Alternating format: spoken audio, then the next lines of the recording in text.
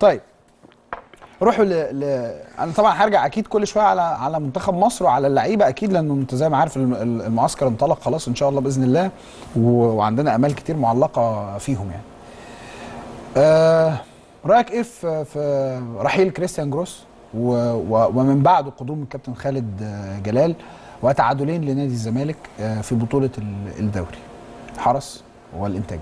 طيب الإنتاج مين اللي, اللي كان بيدير لا ما أقدرش أقول لك انه الكابتن خالد جلال كان مدير لا. لا الإنتاج آه جروس آه. جروس آه وكان في الوقت ده في التوقيت ده النادي الأهلي عامل مشكلة إن يتعادل مع النادي الإسماعيلي أيوه. ودلوقتي بقى في فرصة إن فرصة للنادي الأهلي واحدة بس إن لو كسب ماتشاته كلها لازم يكسب الزمالك عشان ياخد دوري. والزمالك كان له فرصتين صحيح. يتعادل صحيح. أو يكسب مظبوط طيب اللي أدار مباراة الإنتاج الحربي جروس. اتعادلنا. صح؟ قلب الآية. أصبح دلوقتي النادي الأهلي هو اللي له فرصتين. يا يتعادل يا يكسب. ونادي الزمالك ما قدموش إيه؟ فرصة واحدة. فرصة واحدة. الراجل مشي جه بعدها ب 48 ساعة خالد جلال. وإحنا هنا عشان نتكلم بنتكلم بمبدأ. آه أنا عايزه يمشي من البداية. وأنا بقول للمستشار مرتضى لو هو كان من البداية من أول ما خسر البطولة العربية وكان مشاه الزمالك كان خد الدوري من بين الدورين.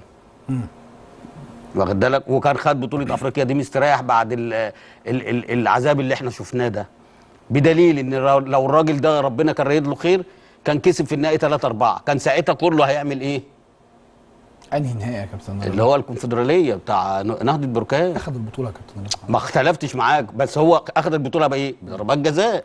ضربات جزاء ضربات الحمحمح ضربات الحنبلي. ما هو بص بص. أخذ بطولة. لا معلش معلش. أنا أختلف معاك بقى. أنا أختلف معاك. اولا نهضة بركان مش هي النجم الساحلي. ماشي. اللي ما عندهاش الخبرة وما عندهاش التتويج اللي هو كل سنة سواء بالكونفدرالية أو دوري أبطال أفريقيا أو بالله عليك وأنا عارف إنك منصف. الزمالك كسبان الهلال السعودي في عز قوته. أيوه كان ساعتها. لعيبة الزمالك واقفة على رجليها يا إبراهيم ده كان لسه في أول الموسم. هو هو مين اللي كسبه؟ معلش يا كابتن رضا أنا عايز اسالك سؤال. هو هو إحنا ليه مش عايزين ندي للراجل ده الكريدت بتاعه؟ خد خد. يعني أنا أنا خد وضيع. يعني إحنا لما خد هتدي له الرصيد الرصيد بتاعه. ما هو العملية لا لا. لا معلش أنا اختلف بقى معاك. هنا لعيبة الزمالك السنة دي تختلف عن أي موسم يا إبراهيم. عندك حق. لعيبة و- جامدة واللعيبة دي ولاعيبه رجالة لو مع مدرب تاني آه. اولا هتاخد السوبر عادي هتاخد دوري عام عادي هتاخد كاس مصر عادي هتاخد الكونفدرالية دي عادي هتلعب على السوبر سواء المحلي أو المصري. يا كابتن ليه ليه إحنا مش مش عايزين ندي خلاص ممكن تكون المرحلة انتهت. أصل ما خلاص اتكتبت باسمه يا إبراهيم آه، ليه بقى ليه ليه إحنا ليه إحنا مش عايزين ندي للراجل حقه؟ ما نديله حقه خلاص وشكرا ومتشكرين. خلاص متشكرين يا عم خلاص انتهت القصة. ليه ليه؟ أقصد ال- الغالبية العظمى مش عايز تدي للراجل الكريدت بتاعه. يا عم مبروك وانت كسبت الزمالك بطولة وإحنا مبسوطين كمصريين ان انت كنت مع نادي الزمالك وشكرا خلاص توقفت بينا ال- الطرق والسبل يعني دي هي المشكلة؟ بتخيل انه طب يعني المشكلة ان هو حسابك متعادل وبعد بعد ما كان ليك فرصتين بقى ليك فرصة واحدة. واخد بالك؟ وماتش على فكرة خالد جلال وأنا قلت قبليها بيوم في مداخلة قلت اولا إحنا ما بنساندش خالد جلال عشان خالد جلال. إحنا بنساند أصلا نادي الزمالك عشان الفترة الأخيرة دي إن هو كان يستاهل. ماشي. واخد بالك؟ ماشي. فمش أي حد بس عشان الناس اللي هي إيه أصحاب المواقع اللي هي بتكتب وبتستفيد وبتاخد فلوس والكلام ده اللي هي شتمتني وشتمت خالد الغندور وشتمت مرتضى منصور وشتمت خالد جلال. أنا هنا بس هحط نقطة أنا لا أتهم أي شخص معلش ما أنا ما أنا عنديش اتهمت حد، عنديش بقول لك الإيه؟ ما عندي ما عنديش أي مستند أقول على أي حد إن هو راجل آه بياخد فلوس لأنه ده اتهام أنا لا أقبل بيه. المواقع أنا قلت لك راجل. اي اي ما يكون موقع لا لا. معلش الم- آه في مواقع بتاخد فلوس عشان تشتم رضا عبعال وتشتم خالد ما الغندور خليني أتكلم عنك. أنت ماليش دعوة بحد تاني. خليني أتكلم عنك. ما هم إحنا الثلاثه أو. الأربعة. لا خليني أتكلم عنك. طب بيشتموني أنا ليه؟ يمكن عشان خاطر أنت كنت شايف من وجهة نظرك إنه كريستيان جروس يرحل. اختلاف وجهات النظر. طب ما هم قبلها بأسبوعين آه. لما أمير قعد معاه والراجل رفض. قعدوا يشتموا أمير مرتضى منصور إن أنت إزاي تجدد للراجل ده؟ ما عندوش فكرة. هي المواقع دي.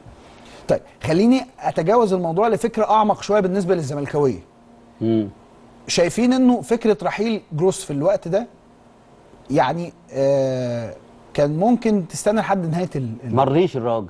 مرضيش هو اللي مرضيش. آه طبعا. آه. وهم عارفين الكلام ده. آه. هو الراجل مش انتهاء قعدوا يوم 30 5 ما جددش ليه قبلها بأسبوعين لما قعد مع أمير. شهر. وقالوا له شهر بعد البطولة الأفريقية يعني البطولة الأفريقية والبطولة وبعد البطولة الأفريقية 15 يوم اللي هتلاقي فيهم الثلاث ماتشات صح؟ هو ما رضيش ليه؟ لأن ماضي بقى له شهرين في كان السعودية. مخلص في السعودية. طبعا واخد بالك؟ دي حاجة. أنا دلوقتي بقول لك يا إبراهيم تعالى اقعد معايا الماتشين اللي جايين دولت أنت قلت لي لأ مش هقعد.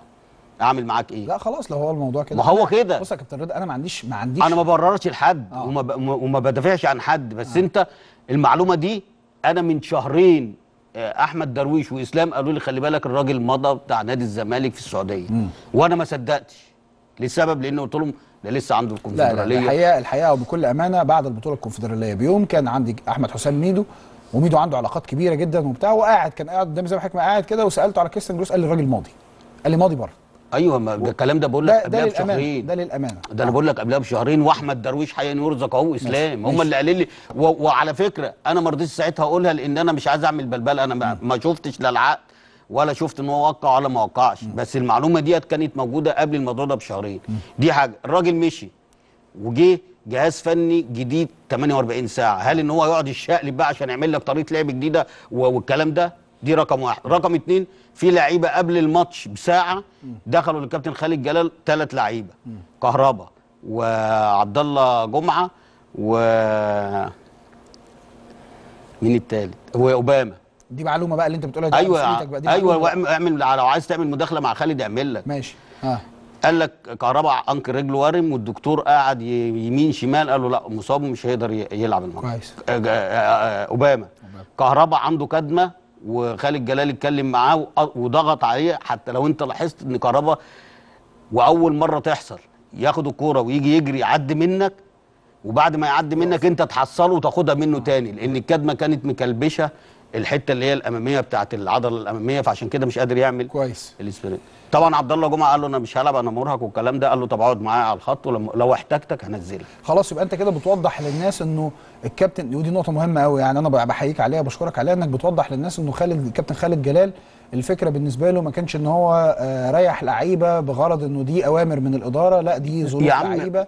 كويس أنا ما بستغل خالد جلال على فكرة شوف أبيض ولذيذ وشكله أجنبي والكلام ده على فكرة نرفز. آه. نرفز جدا وما بيحبش حد يتكلم معاه في في التشكيل ولا في البتاع. الناس واخدة إيه أصل حتى هم هم الناس اللي مشيته برضه في الأول قال لك إيه خلي بالك أصل المستشار مرتضى هي- هيفرض عليه التشكيل. كابتن خالد جلال ده شخصية محترمة وأنا عرفت أنت عامله. محترم ليه؟ أنت عامله ليه؟